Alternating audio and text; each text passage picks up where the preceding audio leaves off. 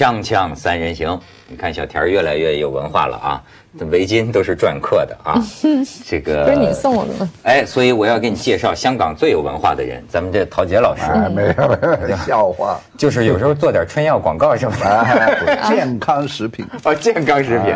哎，人家有人就说啊，说香港的文人跟这个大陆的文人不太一样，跟北京的文人不太一样，就是他没有架子，就是哎，我要能开个牛肉面店赚点钱，我就开个店。对吧？我要能代言个什么，哎，能够那个给个给我给我点钱，有钱干什么不赚？好像就是不像这个北京的文人，他往往觉得你觉得你是哪儿的文人？啊，你是哪儿的文人呢？武汉的，我在不中间。错啊，文人呢其实不止，做人得有底线就够了，不要追求什么风骨啊、身段呢、那个没用处。哦，尤其现在时代不一样，真的要为国捐躯，不一定要文人，会计师呢，大律师呢，医生呢，那个不是文人，那个要不要有风骨？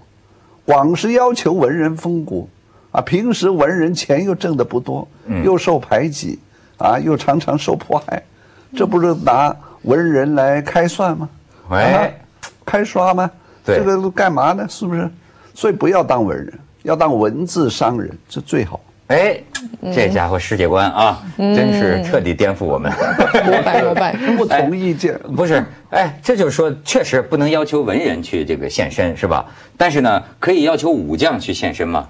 嗯，这个没问题那当然，对吧？他是兵嘛，对呀、你拿了钱就是要献身的。对，文人拿那么丁点钱，你叫我献身干嘛？所以说了，就是因为不愿意献身，才当了文人。其他的专业的人士为什么不不献身？没错没错，就我们这么要求文人，主要是因为、啊、开玩笑主要是因为这个文人从来很很少风骨。哎很多也有风骨，但是我跟你说，有一个人，你某种意义上讲，他既是文人又是武将，这就是最近的这个张灵甫，很伟大。你你觉得伟大？我们解放军少将可说了，没那么伟大。哎，现在这事儿我觉得就是个争议他伟大。你觉得他伟大哈？小田儿好像也崇拜他，主要是因为我对他很感兴趣。模样是吗？哎，我可以让你意淫一下，看看咱们哎张灵甫。张灵甫，哎，就说国军的将军，嗯，你觉得帅吧？太帅了但是你再看看没当大官的时候什么模样，你再看下一张，啊！你知道吗？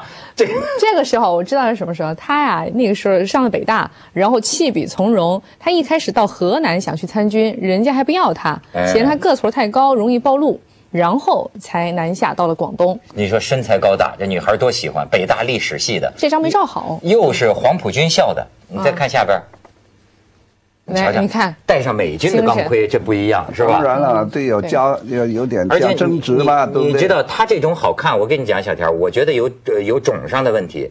他是陕西长安人，对。我我让我想起啊，陕西好多帅哥，就是那个米脂的婆姨绥德的汉，他跟这个刘志丹一块上的黄埔军校，嗯。你觉不觉得他眉他的眉眼儿啊，有点像刘志丹，就是啊。刘志丹也是好像这么类似这样的眼睛，他们那儿出这种帅哥，你看重庆也有这样的帅哥。是吗？哎别美化你们重庆了，你们重庆像黄晓明，啊，黄晓明，你再看下边嗯。这是在哪儿？是他那个哎，这是他最后一个妻子，王玉玲。哎，大美人儿有人说他娶几个老婆都挺漂亮，你瞧，郎才女貌，哎，看见这个小田是醉了吗？没没没没没，嗯，看到这个就就没什么感觉了。民国女子总有气质。瞧瞧，你再看下边，但是你就看看最后的下场啊，也是让人这个唏嘘。这是王玉玲和她的儿子。他儿子不是跟山东那个村的农民发生了一些争执吗？就是说他父亲的遗骨啊，可能埋在那个羊圈里头。嗯，然后他要验尸啊，然后农民说要给二十万，但是后来农民也不承认。这就是这个说当年你看就击毙张灵甫的地方，这就是那个羊圈。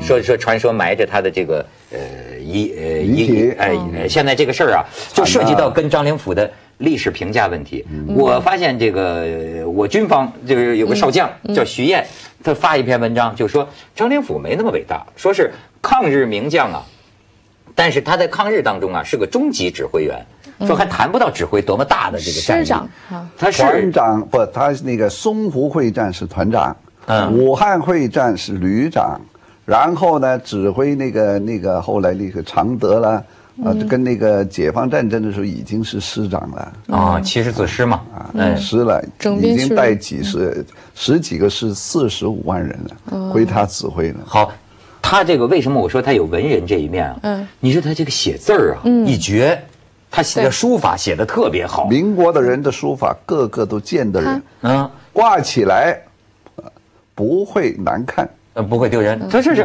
他我知道有一段说他那个就是他不是把他其中一个妻子就枪枪杀了嘛，然后刘海兰嘛让对让让他去那个南京去投案，嗯一路上他钱不够，就靠卖字，卖字凑钱吃饭，然后到南京去没自首错。，就说明他字儿写的好嘛。对，是他杀的这个他的这个老婆啊，应该是第二个，呃，对，第二个老婆叫吴海兰。嗯，这一直就说啊，这件事儿上就说他个个人道德上有这个污点。杀是有道理的，是有因为这个老婆呢，老是跟他要军事情报，跟他要文件，在他家里常常有文件失踪，不翼而飞。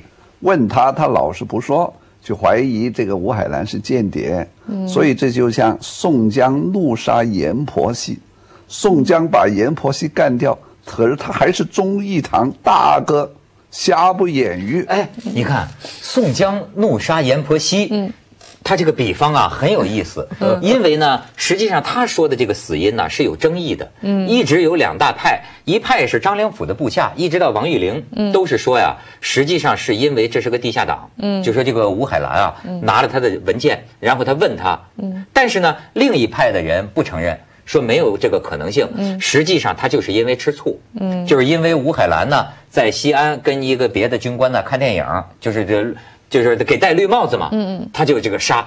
吴宗南呢，打的都有可能，都有可能。所以我就说你举的这个例子让我想起来啊，宋江杀阎婆惜也是两个，是啊，也是一方面因为这个阎婆惜啊，这个女的不正派不正经，对吧？另一方面也是最后阎婆惜在宋江的公文袋里，把宋江的那个公文拿了不还他因，为已经宋朝了一千年，已经不可考。而且要知道，这个呃，张灵甫他是学历史的呀。最后这个故事，反正桥段也是他自己出来的嘛。说最后 要杀他，他他的妻子，因为他的妻子跟那个什么地下党有关系。这个话最早是谁传那个说出来的？就是王玉玲说出来的。王玉玲听谁说的呢？就是听张灵甫说的。后来他的部下这样说啊，都是在那个张灵甫就是身后了。他们说啊，确实那个人跟地下党有关系。这个所以说不可考了，已经不知道了。但是呢，我们知道的是什么哈？知道的就是不管怎么样，他是被判了呀。蒋介石亲自下令要追究这个事情，军事法庭见，判了他十年，但是最后呢又把他放出来，戴罪立功嘛，哎戴罪立功嘛。所以要不说北大历史系的也出书呆子哈，碰见这个老婆之后，赶快翻水翻《水浒传 》。哦，宋江是这么干的哈，杀，是不是这路子啊？但是你为什么觉得他伟大呢？啊，因为这个抗战呢、这个历史战功是不可抹杀的。首先，这八一三炮火一响，他淞沪会战作为蒋介石的嫡系主流部队啊。第二，常德会、武汉会战、常德会战、长沙会战、衡阳会战，这都明摆着呢。嗯啊，这个黑白的事实，黑白分明。而且啊他他没功，谁有功？我问你，谁有功？这谁打的？啊，这些战役谁打的？不就他打的吗？不是，咱就这么说吧，他即便是个士兵，那也是抗日有功啊，对吧？甭说是将军了，在而且呢，他我觉得他这个命运呢很有意思。这个人，就是呃，过去有句话叫“瓦罐不离井上破”呀，将军难免阵前亡。就说这个将军，你的最后这个死啊。而且他这一辈子，他老负伤。我发现他一个特点，他真是遍体鳞伤，枪林弹雨。他从最就是因为早他太勇敢了。腿都瘸了。身先士卒北嗯伐，包括蒋介石那个时候军阀混战，几乎每一次战争当中他都受伤，但是一直都没死。啊，人不是有那个有一个笑话嘛，就是说这个国民党的军官很多时候都是要打仗的时候都是什么跟我冲，啊、对。但是很多其他的一些就是给我冲，给我冲没错。他就是说跟我冲的那种，嗯，你知道为什么吗？嗯，这过去有个历史学家，这个黄仁宇，他当年抗日战争的时候，他也在部队里边。嗯，后来他就总结这个原因呢，就是这个军队太落后了。嗯，他这个军队落后到一个什么程度啊？就咱们军队的这个这个意识啊，精意识形态啊，还是《三国演义》，还是《水浒传》。所以更多的就是说，连长大哥，大哥往前冲。他说：“为什么咱们抗日战争死的将军特别多呀？就靠张自忠这些人，大哥冲上去了，或者大哥死了，这帮人就全跟着冲，身先士卒，身先士卒。你要一崩溃啊，那真是散兵将找不着官。你要打仗，你自己树个典范，不要叫别人的儿子上前线。是，嗯，所以那个时候是没法不让前冲。大哥要不往前冲啊，敌人一过来，整个全线崩溃，就一溃退千里。所以就靠这个打仗。因此我就说，你看这个张灵甫，到最后我就觉得他这一辈子总受伤，但总是大难不死。但是在孟良崮，这就说到这个，到底是怎么死的？到底是到底是被击毙的，还是自杀的？嗯，这个当事人应该有的还在，他自己不说，那么以后就成这个悬案。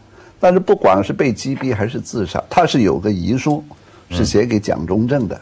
在最后的时刻写了遗书以后就死了，但是现在又说那个遗书不是也要也要去辨辨别一下真伪嘛，对不对？那个也应该在台湾，在那个国史档案馆可以查得到的。嗯，但是当时的兵荒马乱，有人说不是自杀，就是说解放军杀红了眼睛，觉得他顽强抵抗，他四十七师，那么一攻进去，嗯啊，就一个小的排长，嗯，解放军一个排长把他给毙了。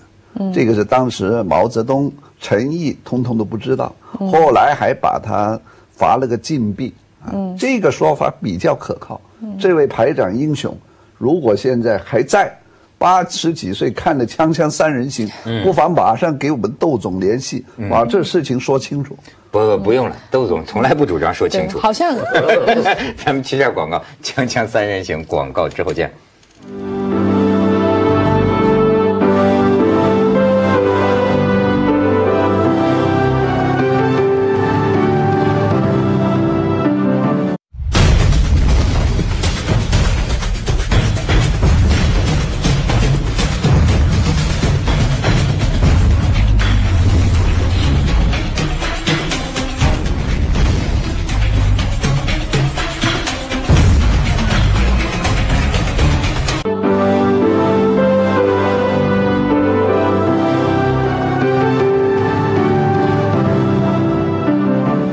好，小田说说说怎么着啊？我我说刚才陶杰老师讲那个啊，我觉得也是个人觉得可能性是比较大的哈，嗯，因为好像是也不记得是什么时候看的，就说当时呢，其实就是粟裕部队哈，当时呢有下命令是要活捉张灵甫的。但是呢，可能抓了之后就被下面的一个这个比较基层的一个这个呃小小小干将哈，就给他杀了。杀了之后呢，也不敢报，好像是分几次报给这个共军这边的这个上头的人的。第一次呢，就说他是自杀的。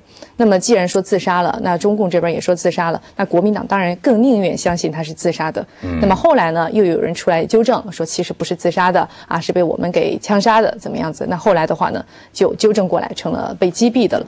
但是呢，不管怎样，我觉得。哈，有有一点可能是我个人比较愿意相信的一点是什么呢？不管他是被枪杀的，还是说是自杀的哈，但是呢，有很多事后的文件显示，其实在那以前他是顽强抵抗四天。那么在这四天以前，他就知道是不行了。他那个绝笔书究竟是不是他自己写的？虽然说现在也还不是完全的确凿哈，但是呢，其实他是有机会撤退的，甚至至少他个人他是完全可以撤走的，但是他没有走，因为援军没到。援军是一方面，对李天霞那边对不对？讲他们是因为有个人恩怨啊什么的，不愿意去帮他，有这样的说法，所以人长太帅还是不太好。你看，李天霞是吃醋了 是吧？哎，那你说你为什么迷张灵甫呢？我我不能说叫迷他，我觉得因为他身上本身这个人身上就有很多迷嘛。嗯，一开始就是这个，到底他那个妻子到底为什么被他杀呀？还有就是他自己怎么死的呀？然后包括他自己跟很多，比如说跟蒋介石的关系，虽然说他的这个军衔不是特别的高，但是蒋介石可喜欢他了，真的就是爱将啊！蒋介石是抱头痛哭啊，听说他的死讯，而且他当时被判十年，也是这个给他破例啊，让他出来。蒋介石跟谁抱头痛哭？自己自己抱头，就说仗打他下边的一个那个那个那个军长，当时一个什么人啊，把他打。打得满脸是血，就说你害我丢失一个爱将啊，这样子。啊，嗯，哎，而且我还我喜欢张灵甫哈，还有一点哈，啊哎呀，对，说漏嘴了，说说说没有，我是特别欣赏他有一点什么呢？当然这些都是我自己在网上或者以前一些书上看到的是什么，也是这个王玉玲她后来就描述的说，虽然说跟他在一起夫妻哈、只有两年时间，但是呢这两年王玉玲一直生活的是无忧无虑，她的丈夫要到前线去打仗了，临走之前，王玉玲帮他收拾这些行装什么的，是哼着歌帮他收拾的，完全没有那种担心。因为什么呢？因为张灵甫完全没有把这种恐惧、这种情绪传染给他的这个年轻的妻子。哪怕是他到了前线，他写的家书从来不讲战事。都告诉他啊，天凉了，多穿点衣服啊，家里的花儿你是不是应该移到家里去了，或者怎么样子？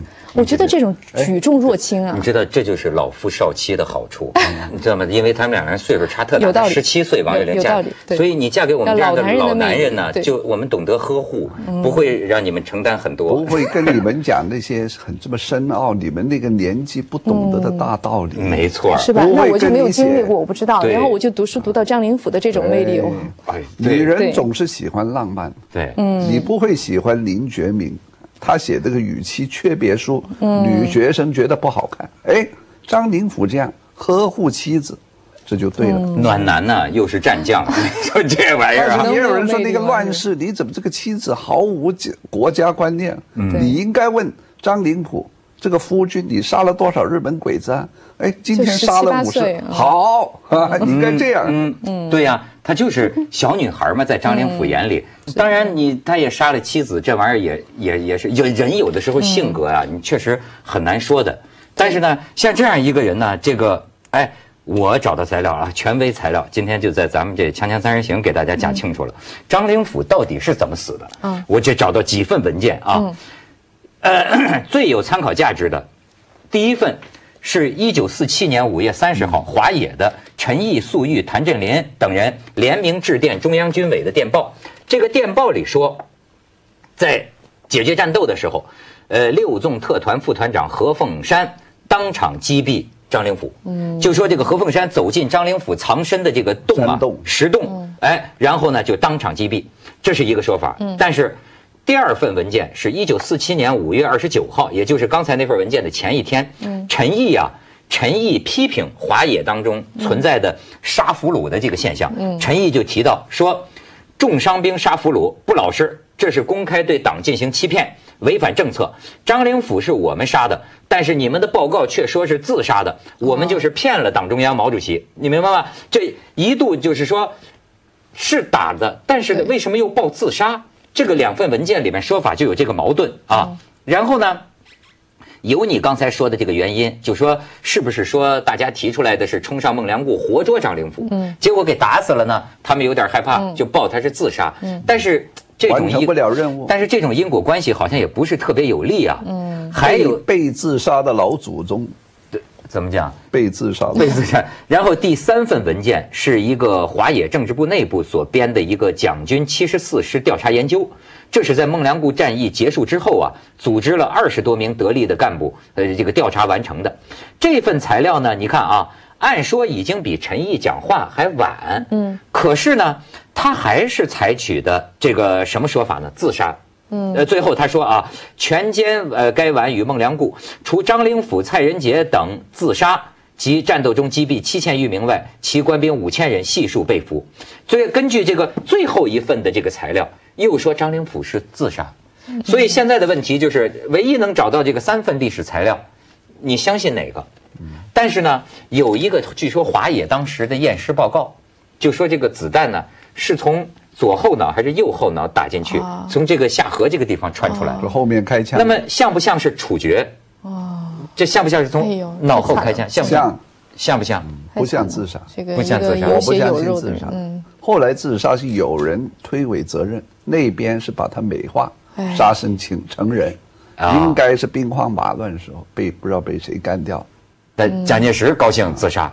对。蒋介石这个人啊，就爱让将呃让他的部将自杀。不成功变成人，他有这个情节，对，你看他在日本受过训呢，蒋介石他弄那个中正舰就是干这个的，说你们的哎将军要能自杀一个，我跟你说，他对他来说，当然他是抱头痛哭，但是另一方面他觉得这是个特别好的榜样。受了日本武士切腹精神的影响。是他后来还经常拿那个张灵甫做例子，他一生气就骂他的那些手下部将，就说张灵甫都知道自杀，你怎么就不知道自杀？没错，没错，他这个这个人，蒋介石这个人，你觉得有点儿是不是有点日本武士道的东西多少有在里面？因为他上东京上的是日本呃东京士官学校，嗯，他受日本浪人那一代的，就是革命的先辈，包括孙中山同盟会那个时候，是受日本人的精神很大的影响。嗯，他在西安事变被俘的时候，也曾经后来对这个宋美龄说，本来有自杀之想。但是有有人说你老讲常常叫人自杀，你自己嘴巴说你自己想自杀，对怎么从来没有见过你拿这个枪对着自己还有人跟呢？他说这对呀、话，对呀、是啊，是啊，所以这不好说。嗯，可能说，哎，我比你们都重要，啊，我比你们都重要。可能有很多部下说，没有你更重要，因为你这个指挥不当，你不会打仗，也不会用人。嗯，汤恩伯、什么顾祝同，这不会打仗的。胡琏啊，这个那个啊，张灵甫算是会打仗。他是诸葛亮，他可以斩马谡哈，别人 不可以斩他。哎，是你你要说这个蒋介石这个人啊，就过去老说他这个解放战争啊，为什么都打败了？就说老挑剔他一点，就是说他瞎指挥。老是越级嘛，越权指挥。可是你知道他这个内部这个错综复杂的关系到后来到了台湾之后，他们还组织了一个革命实践研究院，就总结失败的经验呃教教训。老蒋就说啊，说你们去查查这些电报，说我瞎指挥，哪一个不是在前方的将领？他越级请示我，你明白吗？他们就这种关系，就是说他问我怎么办，他说我能不回吗？嗯，他像那个什么那个电视剧里边，一拿起电话就建军同志。对对对对对，他这个你看，他本身就有这种关系，就像咱们公司里好多人，你比如说他直通老板，嗯，这是中国人 中国人的办法，对不对？就是我越过中间很多中间，我直接奔了老板。那你说老板能怎么办？第一，他优柔寡断，不然就是想故意邀功。嗯，这个是这种作风是不行的。嗯，要你在前线，你是旅长也好，团长也好，你自己当机立断。我老蒋那个时候在南京或者在重庆，我怎么知道前面前方沙尘怎么样？所以这不然你上黄埔军校干嘛？嗯，黄埔军校是培养独立思考的，什么都要打电话的给大老板请示。对对对，跟我要校长请你干嘛示，好像一直没毕业啊，一直在学校。锵锵三人行，广告之后见。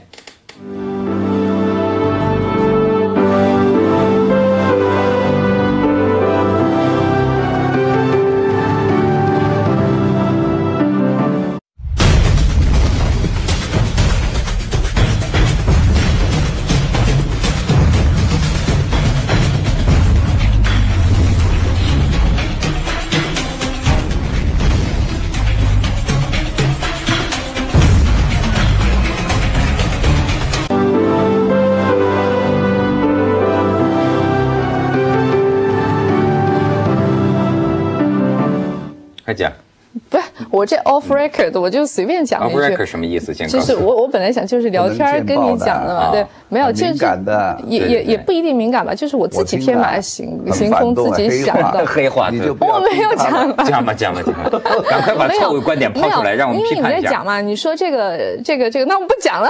别害怕，别害怕。我没事他要求把张灵甫应该官方给他平反，因为袁崇焕啊，虽然那个时候是明朝的大将，是前是后来清朝乾隆皇不是帝。你们这个历史我我这个我我我刚才是这样讲了我这个结论不是这样的，陶杰老师，我的结论是历史上的冤假错案多了去了啊，这个这个需要去洗雪的一些东西很多。那当然，其实沽名钓誉的也很多，但是我们作为后人，尤其是我们又不是历史学家，我们放眼看去能看到什么呢？对吧？那那个袁崇焕要不是因为清朝的那些啊那些皇帝啊，就愿意我们自己把我们这方面的史书拿出来给那个袁崇焕给平个反的话，到现在他还是一个大汉奸呢。不是，嗯张灵甫有什么平反的问题呢？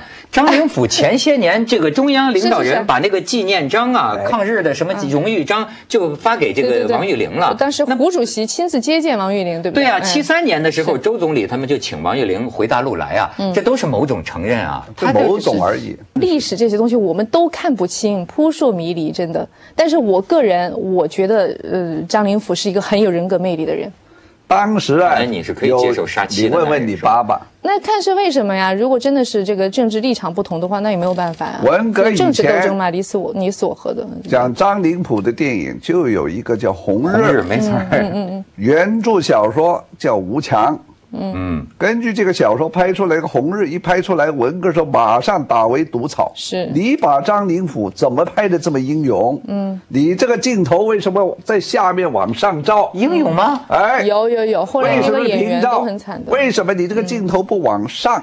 为什么从上面摆往下照，把它拍的渺小一些对？要俯拍不要仰拍你这个导演是不是心里同情，支持国民党？嗯，是不是通过美化张灵甫的形象？希望老蒋打回来，哎呦，那个时候那个大批判的不过。王玉林后来也说，他说那个演员比我的丈夫差太多了，完全没有我丈夫帅。，他是他说的是李幼斌。啊李幼斌这个就后来又翻拍了这个电视剧《红日》哦是后来的然后呢，嗯李幼斌演的这个张灵甫啊，就叼着个大烟斗。后来王玉玲就不高兴，说我丈夫从来不抽烟，嗯而且我的丈夫比你李幼斌帅多了。我丈夫不是坐山雕，哎，对对，其实王玉玲，你看他这些年的话，其实和这个大陆这边关系蛮好的哈。我看还有说什么，他通过他在中间怎么做一些工作啊什么的，帮助共产党收回了在台湾的两栋啊，从日本人手里收回了两栋大楼的主权，嗯啊，产权还是什么的啊。其实我也这个说这个张灵甫，他们老说张灵甫啊，有一种说法认为他有勇无谋，就是认为他这个就是冒进。比如说七十四师固守孟良崮，他这个妄图啊，就是自己让解放军包围，然后等着友军过来之后再来个反围歼，就是太鲁莽。可是后来我发现，这个就是其实张灵甫就是当时抗美援朝啊，美军发现的一点，美军就发现呢，很容易就被共产党包围。但是后来他们发现不用慌因为他们没有接着为您播出健康新概念